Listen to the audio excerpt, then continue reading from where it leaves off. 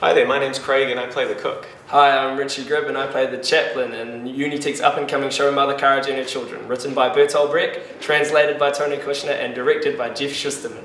The, uh, the play is about Mother Courage and her children travelling through a war torn world where basically the show is just about the people that they meet and the events that happen around them. Yeah, so I play the chaplain, who is a character who kind of gets tossed into the mix with Mother Courage and gets kind of stranded with it um, without giving too much away, tries to tries moves on her as well. Yeah, so the cook's story is he's kind of introduced to Mother Courage quite early on and then sort of just becomes a love interest. He disappears about halfway through, but then uh, when he comes back it gets really interesting. So the play will be at the Unitec Theatre on the 31st of October to the 8th of November and you can purchase tickets from iticket.co.nz.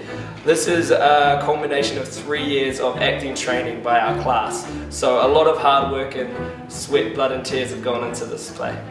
There's also a, uh, a, matinee on on the 8th as well, which is $5 for tickets at 2pm. All the shows are down at the uh, Unitec Theatre, the Mount Albert campus on Carrington Road, Gate 1.